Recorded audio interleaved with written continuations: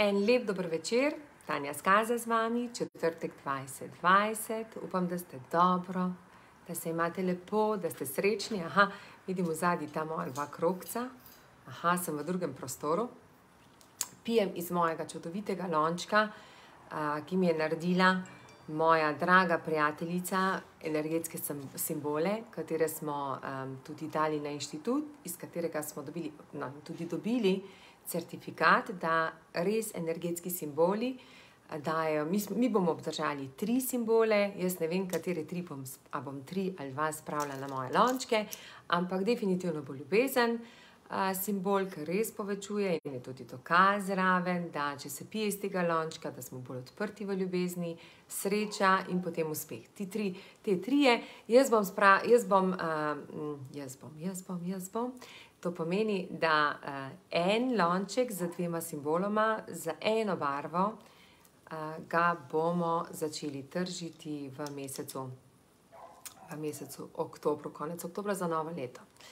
En lep dober večer sem skupaj. Evo, Amanda je že z nami, upam, da ste dobro.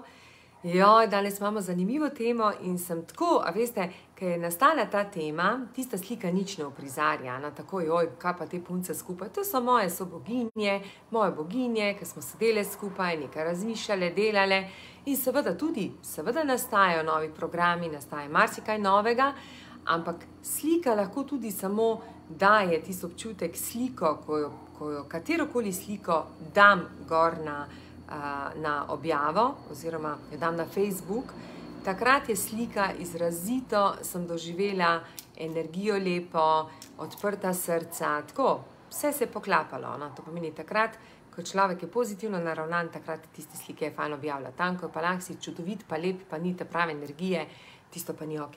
Naj vam povem, kako mi je ena stranka rekla, to mi je bilo najlepše, kar je bilo možno. Je rekel, a, rekel mi je, o, lep večer, Ana. A, je rekel, čisto vsak, pač ne razumejo se v družini, in je rekel, vsak rojstni dan žena reče, a, pridi, da se bomo slikali. In potem se mi štimamo na tisti sliki, vsi delamo nasmeške, študiramo, kako se bo kdo nasmejal. Je rekel, in slika izpade top, dobra, je rekel, v resnici pa smo vsi razjebani no, znotraj. a ne. Tako, fulepo mi je bilo, mi je to podelil in to je meni ostalo. Tako da moje slike niso retuširane, moje slike so take, kot so, ker če, če retuširam sliko, si sploh nisem podobna. Tako da to sem, tisto sliko dan, ko sem srečna, zadovoljna, to, to, to je moja slika. Okay. Gremo se dotakniti teme, ali smo individualni ali smo timski. In danes se bom malce poigrala, glede na to, da se odpravljamo jutri z krasno skupino 14 čudovitih oseb, čudovitih duš, bi se temu reklo na obred, ajuasko, sem se malce poigrala, da bi vam prikazala to stališče. Da veste, zakaj je pomembno, zakaj je dobro biti timski.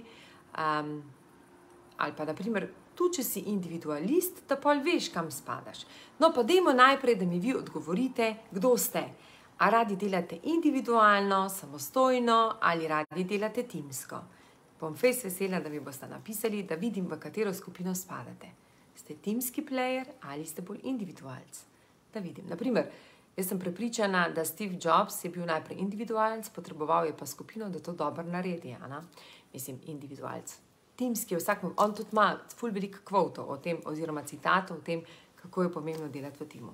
Vesela, aha, ja, hvala, hvala, hvala, hvala Antonella, hvala moja Dula, um, kako lepo, kako lepo, da me še kdo iz Hrvaške, sem da ne počnem pričati hrvatske, Ana. Pošto je to znam, Ana.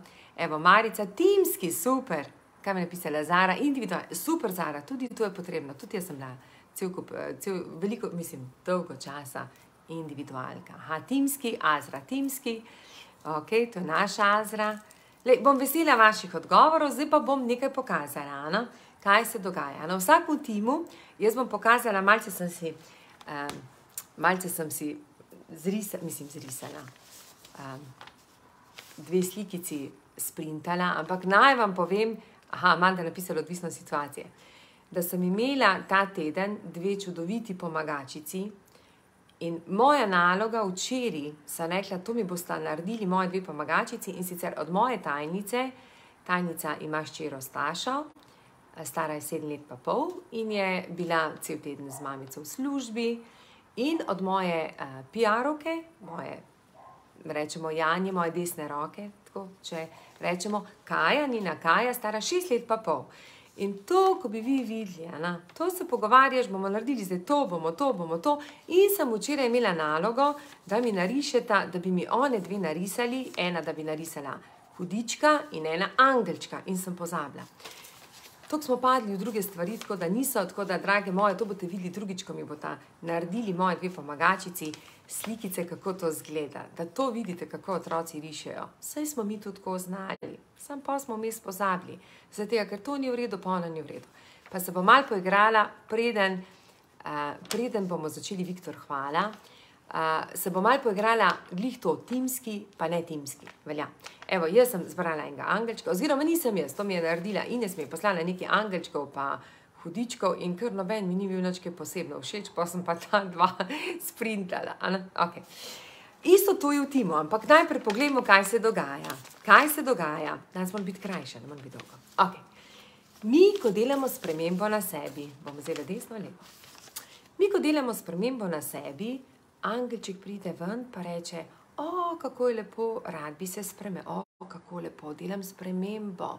Čutim, pripravljena sem se spremeniti, o, čutim, da si zaupam, o, prav vidi se, odpiram se za ljubezen in tako naprej. To angelček govori. In pride hudiček, že samo obraze, pogledajte, Ana.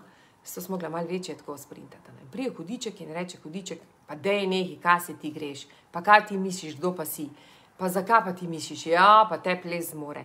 In angelček nikoli ne bo šel v boj, zato ker angel ima kakšne vrednote: sočutje, prijaznost, pravičnost, ljubezen, veselje, joy in tako naprej.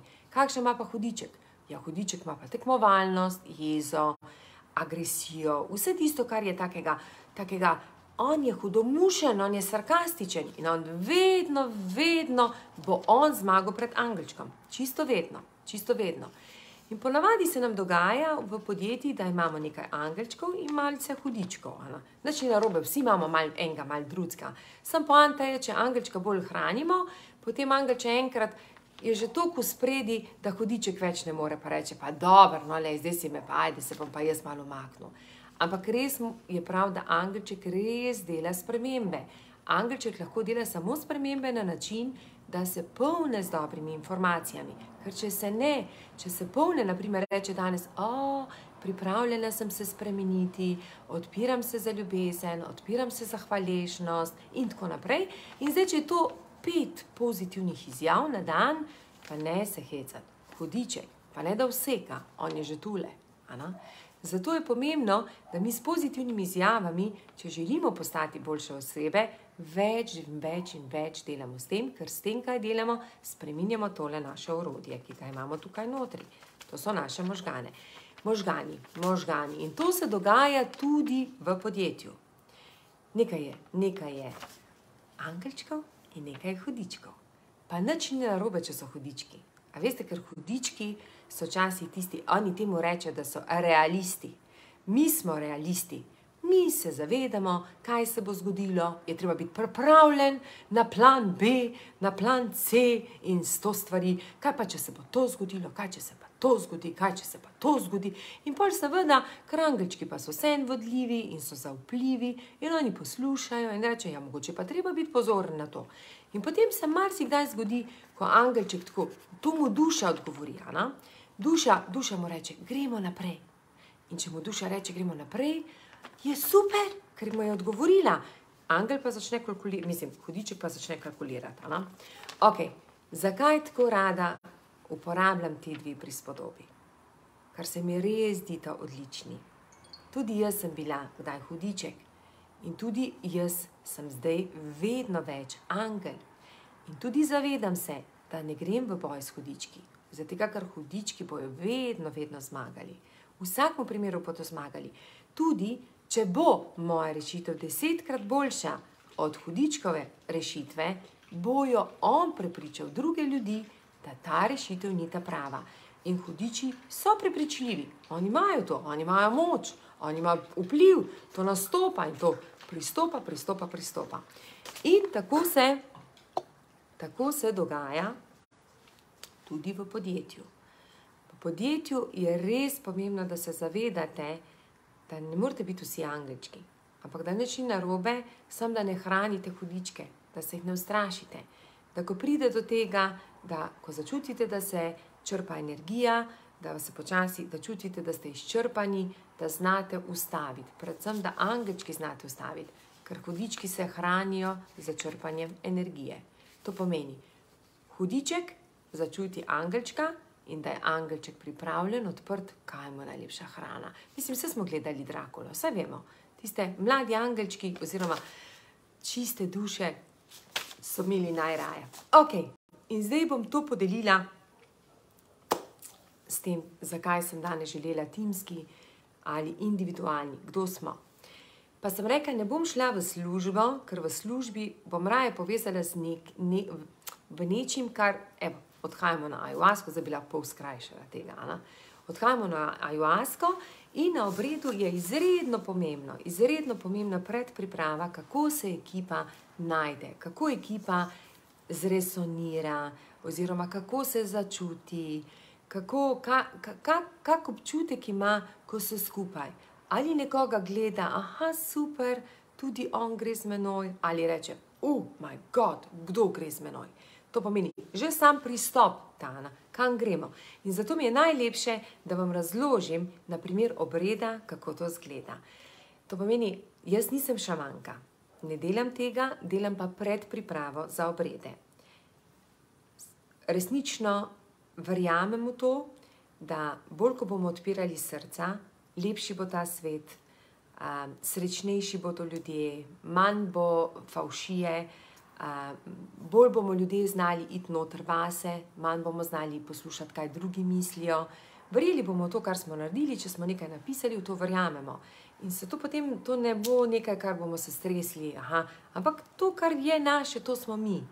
In um, že samo to, za en teden ustavite televizije, um, mislim, ustavite, ne gledajte televizije, ne poslušajte radio, poslušajte samo tisto glasbo, ki vas polni, ki vam daje, ki vam daje uh, energijo. Dragi moji Balkanci, kdorkoli je tam na drugi strani, da veste, da balkanska muzika ima ful veliko bolečin. Ite, da sem sit kafano, ne vem, potem da bo, da se pa ne vem karkoli. Cel kup takih negativnih stvari, tako da mogoče tudi narodnjake malo izklopite, pa poslušajte mogoče Dina Merlina, Zdravko Čoliča, Sergeja Cvetkoviča, tiste, ki so mogoče malo bolj tako uh, odprti v ljubezen, pa res pa dobre stvari. Predvsem pa sem zato, da če bi bilo možno, da bi poslušali kakšne zdravilne pesmi, kot so Ikari. Um, jaz sem obdana z njimi, Gaja poje ikare, poje Dani ikare, kamorkoli se obrnem, so sami ikari in jih tudi poslušam. Uh, seveda poslušam tudi drugo glasbo, ampak večinoma moj dan je sestavljen iz zdravilne glasbe. Ok, in, viš pa me kar zanese, zdaj bi vam kar že malo o tem govorila. In ko mi gremo na obred, a ja, to, kar sem vam rekla, in meni se zdi, da, da to, je moj, to je moje poslanstvo. Jaz mislim, da na poslovnem svetu sem se zdaj dokazala, pokazala sama sebi in zdaj je moja pot, da grem v ta um, odpiranje srčka, odpiranje ljubezni in nekako pomagati ljudem, da vsak slihrni dan se zavedajo, da ne rabijo trpeti, da lahko delajo z lahkotnostjo, da če jim partner ne odgovarja, ne vem, poslovni partner, da reče, to ni to, to ne gre v pravo smer. Če ne vem, nekdo ruši ceno, da reče, to ni to, to ni prava smer. Tako, da res, da res delajo in da čutijo, da začutijo ta svoj steber, ta svojo moč, katera je noter v njih. Ok, in kako vam bomo opisali na obredu, kako se to naredi. Če je skupina usklajena, harmonizirana, to pomeni, rečemo, da so na enaki valovni dolžini, se dogaja, ko pride do na obredu, to pomeni na obredu, se dogaja zdravljenje. Vsako zdravljenje poteka tudi tako, da um, to se ne odloči vsak za obred. To se odločijo res pogumni ljudje, tisti ljudje, ki želijo vsak dan postati boljši, boljše osebe in tisti, ki se zavedajo, da samo z odprtim srcem bo lahko ta blagoslov, ta blessing prenašali naprej na svoje otroke. Ana? In jaz bi si res želela, da vse mamice, vsi očki, um, ki imate otroke, da se tega zavedate, da otrok samo energijo čuti. In tisto, kar koli rečete, otrok pa zaznava z energijo, dokler so mali, če ne, pa, pa tako povzamejo vaše vzorce in so tudi oni potem zaprti. Dogaja se pa glih to, da se vedno več mladih odloča za to, tisti, ki še nimajo otroke, zato ker nočejo tega, tega nahrtnika dati svojim otrokom. No. Tako da, dragi moji, vsi tisti, ki čutite, da niste lahkotni, da, da, da ne znate, da imate polni, da ste polni strahovov, resnično odločite se za obred, odločite se za nekaj, ne rabite iti z menoj, lahko greste s komorkoli drugim, samo odločite se, najbolj pomembna je pa ta predpriprava. To je čisto enako kot v službi, ko rečemo, da je treba določiti cilj, cilj v podjetju, kam sledimo. In isto tako je namera pomembna na obredih, ker če se dotaknemo prave namere, gremo na izvor in lahko najdemo naš izvor, ki ga lahko potem odpremo. In zdaj naj pogledam uro, ker sem že zadnjič bila, oh moj bog, in je 20 minut.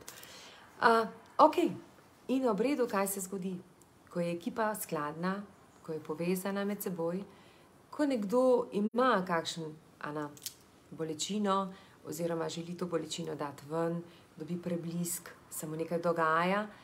Če je, če je oseba zraven njega usklajena ali če ga sprejema, mu privošči, da to naredi in je vesel za njim, vesel za njo, ker to počne.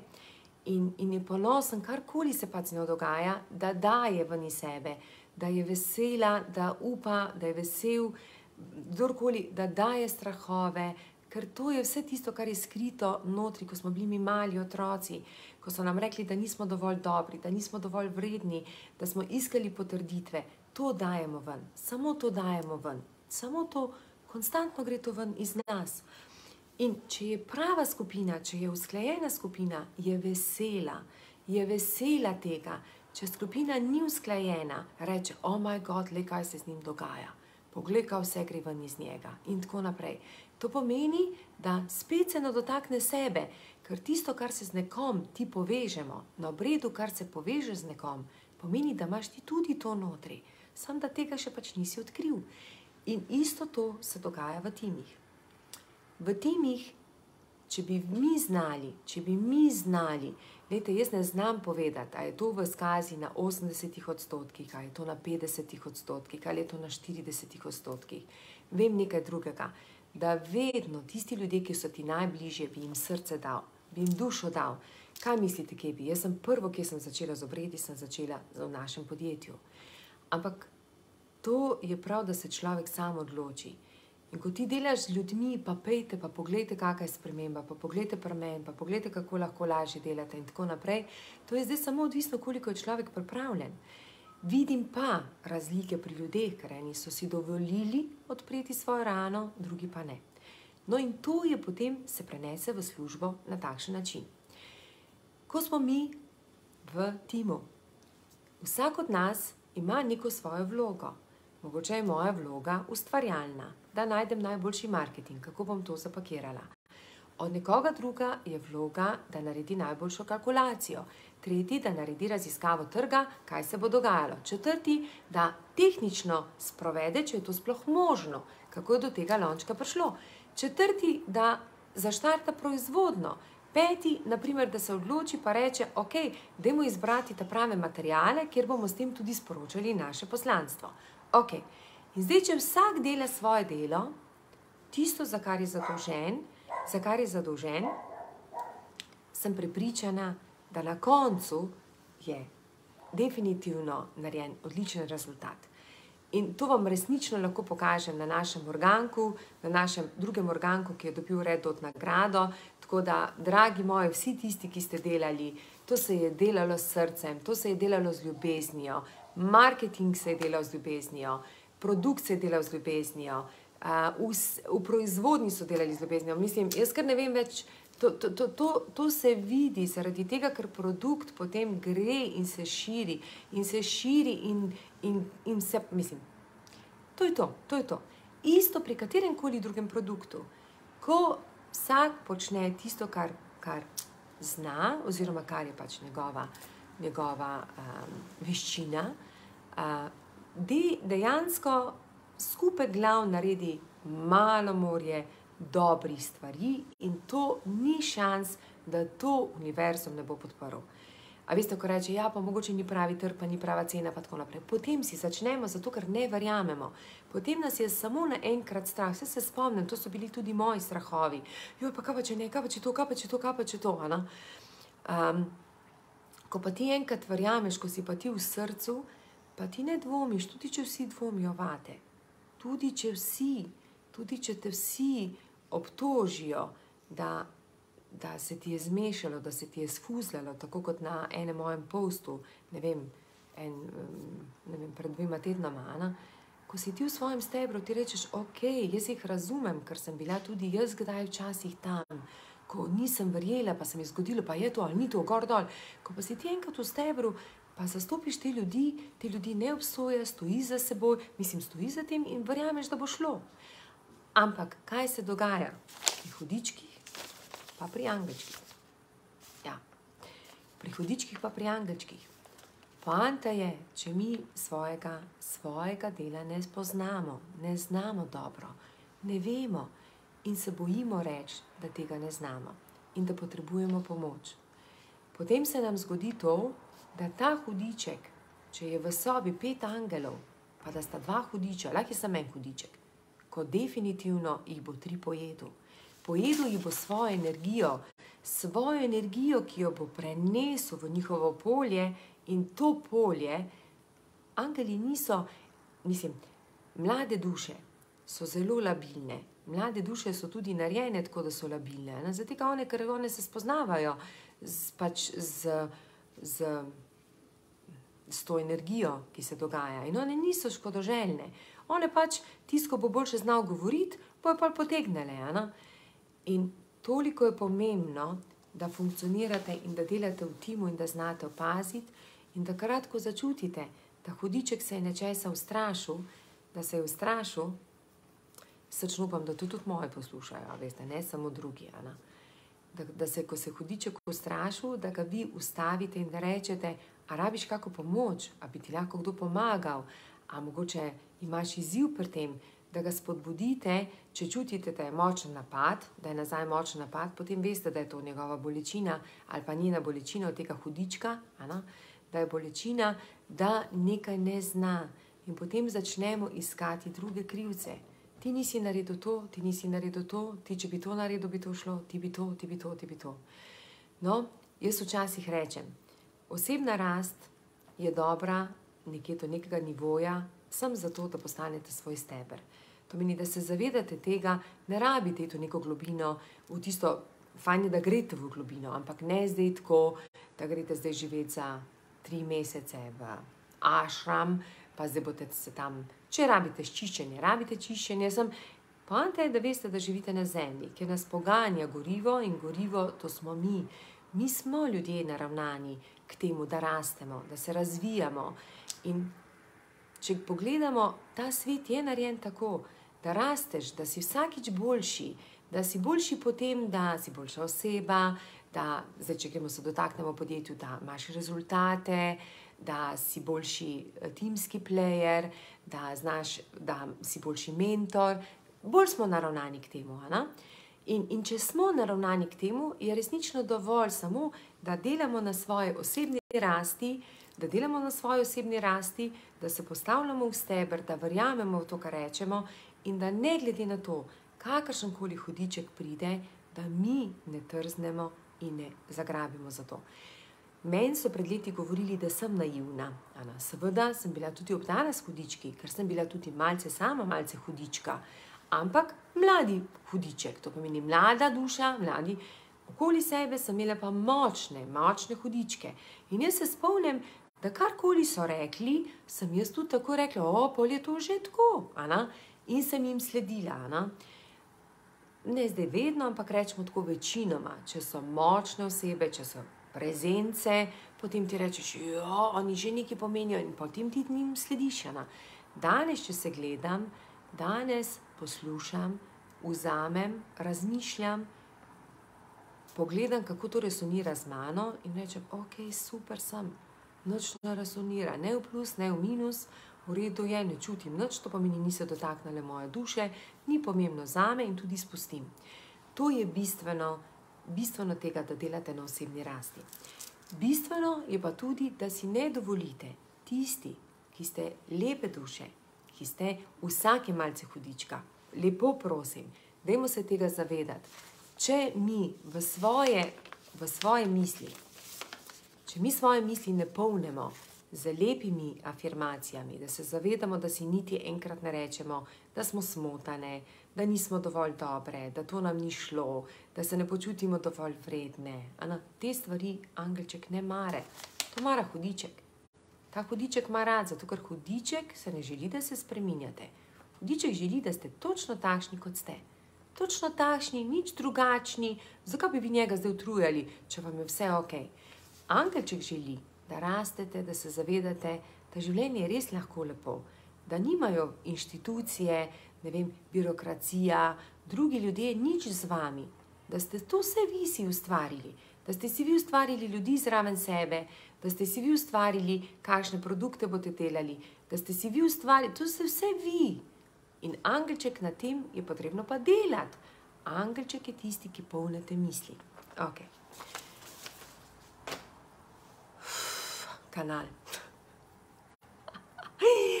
Jaz srčno upam, da, da sem poskušala skozi tega angelčka povedati, pa skozi obred, kako je pomembno, da če en drugega podpira, kako lepo je obredena, koliko več tudi druga oseba naredi. Ko jaz rečem osebi zraven sebe, oh, hauš, hauš, kako lepo, samo dej, sem dej še, se še jaz čistim. Ali pa nekdo drug, ko podpiramo en drugega v tem, kar počnemo, ne glede na to, ali je to dobro ali slabo, rastemo tudi mi to je avtomatsko nas potegne. Ko mi se odmaknemo in ko obsojamo nekoga, dobivamo še več, še več in prihajajo vedno teže preizkušnje. Kakšne so preizkušnje? Ajde, gremo se spet srečati. Mislimo, da smo ful dobri in da v podjetju, zdaj se bom pa mal vrnila na podjetje. V podjetju so vsi nepravi ljudje za nas, tole brez zveze, nič ne gre, gor dol zamenjate podjetje. Greste v drugo podjetje, kakšne ljudi boste dobili? Krat dva, Se spomnite, to sem že govorila. Dobili boste ljudi, ki boste šli na večje preizkušnje. Ja, dokaži se sedaj. In zdaj boste mogli biti še bolj galamit, še bolj galamit, da spet ni nič v redu, gor dol sem tja. To, če, mi, če, če ste za to, bom z veseljem uh, bi odprla eno temo, ki se mi zdi uh, zelo zanimiva. Če lahko se pogovarjamo, jaz bi se to tudi, da mi kaj podelite, pa da mi napišete v spodi. Ali res mislite, da oseba, ki vsake dve leti zamenja službo, da je lahko srečna in uspešna. Obe, obe bi imela, srečna in uspešna. Uspeh, zakaj? Vse uspešna oseba, naprimer, eh, ne, ne, vi, vi mi odgovorite, pa bom pa, mogoče bomo naslednjo srečanje, naslednji Facebook live bom odprla na to, te, mislim, ja, ga bom, sem se že kar odločila. Ali je oseba, ki zamenja vsake dve leti službo, lahko srečna in uspešna v podjetju, kjer dela. Srečna pa doma in med svojimi ljudmi. Ok, da se vrnem nazaj. Prej sem vam postavila vprašanje, ali ste timski ali individualni in bom delila mojo zgodbo. Tudi jaz sem bila dosti časa individualna. Zakaj? Mislim, nisem kaj dosti podjetij delala, tako da sem delala, če zdaj tako gledamo, delala sem v termoelektrani Šoštan in delala sem v Zlatarni celje in potem sem prišla v Skazo dejansko v termoelektrani Šoštanj, tam nisem imela neke take vloge, močne, da bi, da bi zdaj lahko ocenila, sem bila fejstimska. Mlada sem bila, tako da ne vem. V Zlatarni, ko sem prišla, smo delali na zmene, najprej prodajalke. Ana. Bila sem kratek čas v prodaji, bilo mi je čudovito. Delala sem v Velenju, Slovengradcu, pa sem pa tako koordinatorka bila, pa sem pa vse, vse posod, vse preizkusila, vse, vse zlatarne. In tu dejansko si sem bila samo ena na zmeni, ali pa potem druga na zmeni. In smo spet mogoče malo tekmovali, tista, ki ima večji promet, ki ima večji promet, bo tudi imela boljšo plačo. Ne? Jaz sem vedno nekako, to je bilo ta moj individualno, vedno skozi promet sem si znala zaslužiti toplo plačo tudi v gostilni. Ana. V gostilni sem imela zelo dobro plačo, zato ker sem res imela dobro promet. Ana. Ko se spomnim, v, prav v Čuku, uh, se spomnim, da sem ga včasih imela krat dva, krat dva ali pa celo krat tri kot ostali. Ana. Tako da, seveda, se mi je to tudi poznalo. Ana. In mogoče je ta naš svet naravnan na to tekmovalnost. Da imamo imeti več, da imamo imeti več. Ana. Pa tudi to je prav, zaradi tega, ker smo tukaj, da ustvarjamo rezultate, ker to nas polni, to nas hrani. Tako kot pravim, tudi jaz sem dosegla svoj nivo, da sem tukaj, kjer sem in da to počnem zdaj, kar sem, sem naredila na poslovnem področju, sem potešila svoje želje, potešila svoje želje po nagradah, potešila svoje, svoje želje po rezultatih, potešila svoje želje po prepoznavnosti. To sem potešila in ko to potešiš, potem rečeš, ok, zdaj lahko greš korak naprej. Um, ampak, da pa lahko rastemo, da pa lahko razvijamo se iz tega individualnega sveta v timski svet, je pa pomembno biti v množici in delati v množici. In to je tisto, ko se mi je največkrat dogajalo, ko sem izbirala izobraževanje, delavnice, karkoli individualno. Še posebej, ker sem si pa lahko privoščila. Že fakulteto sem zbrala tako, da nas je malo v razredu, da nas je bilo 20, ker ne bi bila tam med množico. Ne? In, in kaj je bistveno vsega tega, da me je pa vedno peljalo na to, da um, sem videla, da ne oddelam toliko in da sem vedno več oddelala v skupini, da je skupina mi bila ogledalo. To pomeni, da ko sem nekoga videla, ko mi je nekdo šel na živce, sem rekla: Oh, moj bog, kako mi gre na živce. Ali pa ko sem nekoga videla, oh, moj bog, tam je kar skrit noter, pa noč ne govori. Takrat sem vedela, da rešujem tudi moje izzive. In vedite, da včasih so gledala najlažja za spoznavno, katere vzorce, mislim, za spoznavo, kateri na katerih vzorcih je prav delati. Na kateri vzorci so tisti, ki pritiskajo na vas, da zaradi tega bi radi delali. Mislim, ne, da bi radi delali. Da veste, na kaj je potrebno biti pozoren, da se vam lahko spremeni. Tako da, dragi moji, evo, jaz upam, da sem danes poskušala z našim angelčkom in z našim hudičkom vam prikazati zgodbo, da nič ni narobe, da smo individualni, ampak da ne rušimo sistema tima, ampak da se zavedamo, da dolgoročno pa ni to dobro. Zaradi tega, ker ena glava nikoli ne more ustvariti toliko, koliko lahko ustvari več glav. Da pa pridemo do tega, da pa lahko začnemo delati timsko. E, tu se pa zdaj skriva skrivnost.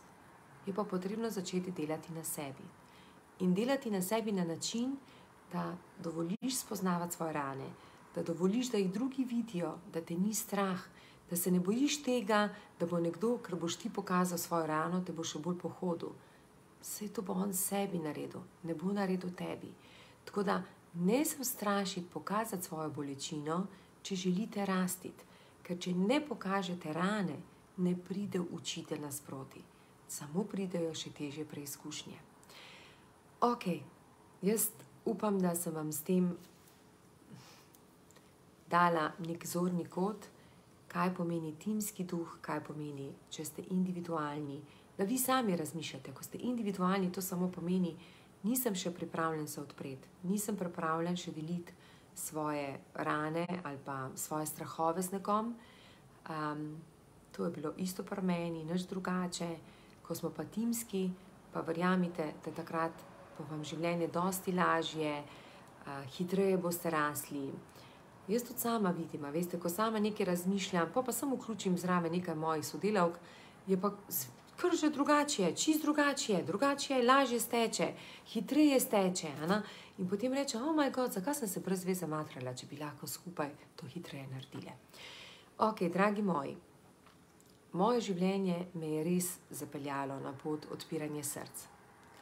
Zaradi tega, ker če se spomnim sebe pred nekaj leti in danes, ne vem, vsak slikarni dan se zahvalim, zato ker sem boljša oseba, vsak slikarni dan se zavedam tega, kako mi je življenje spremenilo, kaj sem dala mojemu partnerju, mojim otrokom, mojim staršem, noro, kakšno spremembo, pa ne samo to, kaj sem dala sodelavcem, kaj dajem strankam, kako vidim moje soboginje, moje brate, kako rastejo, kako se razvijajo, kako razmišljajo, pa mislim, hauš, hauš, no, hauš, hauš. Um, ja, res je pripravljamo velike spremembe. Mislim, ta dva meseca, ne velike spremembe, dodajamo. V teh dveh mesecih, veste, da en mesec namenim izobraževanju, en mesec namenim pa res proščenosti, to pomeni res odklopu, lahkotnosti. In uh, tudi potem moje sodelavke so, ja, veliko kaj bomo dodali, veliko kaj bomo dali tudi za tiste, ki si me mogoče, kot sami pravite, da sem samo za premožne. Uh, bomo tudi naredili, tudi imamo že pripravljene programe, vse uh, k malu sledi, vendar jaz sem še vedno zagovornica. Moja vedno, naj vam povem, kaj bo moja, moja, moja prioriteta, bo odpiranje srca. Odpiranje srca in ni še osebe, ki bi šla z menoj, ni še osebe, ki ne bi prišla drugačna domov, bolj srečna, bolj v svojem stebru, kot pa, ko je šla z menoj. Z mano pravijo, ni enostavno, ampak je pa vsak dan lepše. Tako da, dragi moji, nekaj prostih meša imam za obred ljubezni, drage moje dame, tudi to bom spremenila, no, dame. Vse na obrede grejo moški tudi, ne, tako da ne bo pomote, tudi, tudi hodijo moški zraven. Zdaj imam večino, ja, zdaj imam kar velike, zdaj imam lepe, lepo število. Se boste videli, če mi bodo dovolili, bom eno slikico naredila, da vidite, kakšne čudovite duše grejo z mano na obredena. Um, na akademiji pa imam ženske, zaradi tega, ker ženske gradimo odnos, ženske delamo premike, ampak tako kot pravi, moja prioriteta bo vedno odpiranje srca zaradi tega, ker odpremo srce. Pa poglejte, že mojo razliko. Poglejte mojo sliko pred tremi leti, pred petimi leti, pa danes. Pa mislim, pa sem pet let starejša. A, poglejte mojega moža, sliko z ma, mene, pa mojega moža, mojo, mojih otrok, na, moje mame, tisti, ki jo poznate, na, moje, moji sodelavcev, kateri so z nami. Na. In nič se ne bojte, če duše odhajajo, oziroma duše, da ne bomo zdaj spet. Na. Nič se ne bojte, spustite svoje sodelavce, da grejo tam, če želijo zamenjati. In mogoče je čas, eni, eni rastejo, eni želijo spremeniti okolje, dovolite jim, da rastejo in k vam bojo prišli takšni, ki je prav, da pridejo. V enem videu bi rada povedala sto stvari, Jana, in pol seveda ne gre. Jana. V torek imam en kratek video, pet um, ali ne, zakaj je pomembna blagovna menjava zakaj se ne smemo ustrašiti blagovne menjave. Ko mi nekdo napiše, da že dela štiri leta brezplačno, um, ko najraje bi ga stisnila in mu povedala, dragi moj, jaz sem naredila čez 316, niti več ne vem, koliko konferenc brezplačno, ampak ni vplivalo na to, da me je gradilo, rušilo mi je vrednost. Na. Tako vedno manj sem se počutila vredna. Tako da uh, v torek, čisto kratek, to pa pet minutni, zakaj je dobro. Uh, imeti blagovno menjavo, kaj delate s tem. Uh, ful, velik stvari, neč to potost. Bodite timski, če ste individualni, se zavedajte, da samo pomembno je odpreti srce. Če ga ne morete odpreti, pridite k meni, ga bomo skupaj odprli. Ga bomo skupaj, ne rabite ga z mano odpreti, se bom pripravila. Vi boste pa zbrali ljudi, kateri vam bodo odprli. Znam vas pa dobro pripraviti, da začutite, kje je izvor in greste direktno na izvor. Evo, dragi moji, en krasen večer vam želim. Uh, imejte se lepo. Uh, hvala, hvala, da ste z mano, hvala, da delate spremembe, hvala za vse tiste SMS-e, ki mi jih napišete. Um, sem vam povedala, že iz videa se lahko veliko naučimo. Že iz videa, ne da se naučimo z videom, vi vse zveste, vi samo ozaveščate. Vaša duša se prebuja in reče: O, to pa jaz vem, pa to vem, pa to vem. Moja draga Ana, je napisala, čau, čau, lepo bodite in smo se vidimo ponovno, ja, za vtorek o blagovni menjavi. Jaz sem za to, da se ne dela za stojn, da se delajo. Um, Da se delajo blagovne menjave, če se že da denar, da se nekaj drugega da za to. Uh, vsekakor pa nisem za to, da se konstantno dela za stojn, zato ker črpa energijo črpa telo in definitivno ne daje vrednosti, kvečemu ruši vrednost. Čau, čau.